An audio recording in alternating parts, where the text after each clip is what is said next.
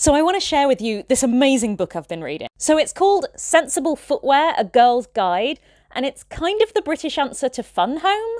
It's part memoir about the author Kate Charlesworth growing up lesbian in the 1960s, going to lesbian bars and joining gay rights organisations in the 1970s and 80s. And it's part queer history, gay rights coming of age at the same time she does. I often find that queer history is not done very well. Like, it's often quite a dry list of, oh, in 1978, this organisation you've never heard of was founded and they published a magazine for seven months and then they closed. And you're like, great, so what? Whereas the way it's presented here, it's all part of our protagonist's journey. Stuff that's nationally important queer history, like the model April Ashley being outed as trans, is put right alongside stuff that seems just like kind of personal awakenings for her, like seeing Diana Rigg do a striptease in Follies in 1987. It's also just put me onto loads of queer history that I didn't know about. So I've been wanting to write a queer history tour for years, and I'm going to be taking this as my starting Obviously, it's not a source in its own right, but it's a really good book for picking up leads that you can follow up on later. I want to document as much of the tour making process that I can so that you guys get to see how these things are made. Now, don't get excited, we're a long way off a fully fledged tour yet,